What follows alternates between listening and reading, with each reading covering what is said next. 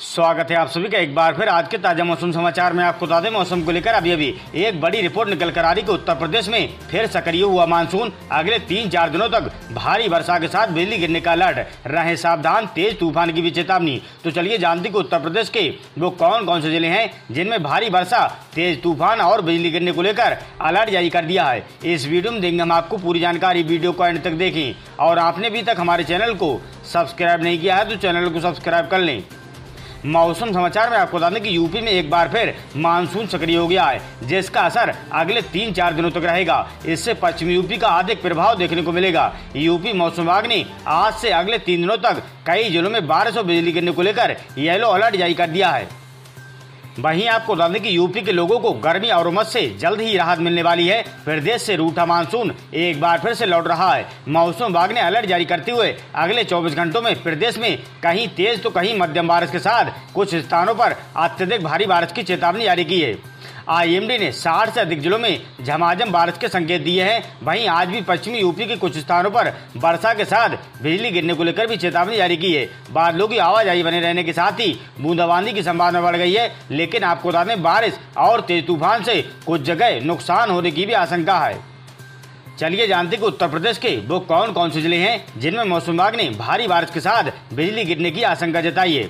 आपको बता दें, महाराजगंज, कुशीनगर, सिद्धार्थनगर, बलरामपुर श्रावस्ती और बहराइच में कुछ स्थानों पर बारिश हो सकती है। लखीमपुर, खीरी, पीलीभीत, रामपुर, बरेली, मुरादाबाद, बिजनौर, शामली, मुजफ्फरनगर, सहारनपुर में बारिश होने की संभावना है। लेकिन आज पश्चिमी यूपी के कुछ हिस्सों में तेज बारिश होने की भी संभावना है। देवरिया, गोरखपुर, संत कबीर नगर गोंडा, अयोध्या, बस्ती, बाराबंकी, लखनऊ, सीतापुर और हरदोई में बारिश होने की उम्मीद है। शाजापुर, फरुखाबाद, एटा, कासगंज बदायूं हाथरस, मथुरा, अलीगढ़, संबल, बुलंदशहर, गौतम बुद्ध नगर अमरोहा, हापुड़ में भी भारी बारिश हो सकती है। वहीं गाजियाबाद, मेरठ, ललितपुर, झांसी, महोबा, बागपत, बांदा, चित्रकूट, प्रयागराज, मिर्जापुर और सोनभद्र में भारी बरसात होने की आशंका मौसम विभाग ने जताई है। वहीं आपको बता दें कि आंचलिक मौसम विज्ञान केंद्र के वरिष्ठ मौसम वैज्ञानिक अतुल कुमार सिंह के मुताबिक मानसून ट्रफ उत्तर की ओर बढ़ने लगी है। इसके कारण उत्तर प्रदेश के ऊपर मानसून मज़बूत होगा। और आपको बता दें दो तीन दिनों तक उत्तर प्रदेश के अनेक स्थानों पर गरज चमक साथ भारी वर्षा होने के आसार हैं।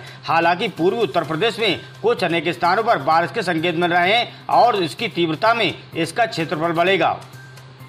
वीडियो के आखिर में आपको बता दें कि वहीं तराई बेल्ट समेत उत्तराखंड से सटे कुछ जिलों में भारी बारिश के लिए चेतावनी भी जारी कर दी गई है। आंचलिक मौसम विज्ञान केंद्र के एक और वरिष्ठ वैज्ञानिक मोहम्मद दानिश के अनुसार, हवा में कम दबाव का क्षेत्र वर्तमान में बंगाली खाड़ी की ओर है। इसके असर से कल से पश्चिमी यूपी और उत्तराखंड से सटे कुछ जिलों में हल्की से मध्यम बारिश होगी। वहीं तराई बेल्ट और मध्य प्रदेश से सटे जिलों में छिटपुट बारिश होने के आसार है। वहीं आपको बता दें, उत्तराखंड से सटे बरेली लखीमपुर खीरी बहराइच पीलीभीत समेत लगभग 10 से ज़्यादा जिलों में भारी बारिश करने की चेतावनी जारी की है। उम्मीद करते हैं दोस्तों, वीडियो आपको पसंद आई होगी। ऐसी ही ताज़ा तरीन मौसम की खबरों को जानने के लिए हमारे चैनल को सब्सक्राइब करें।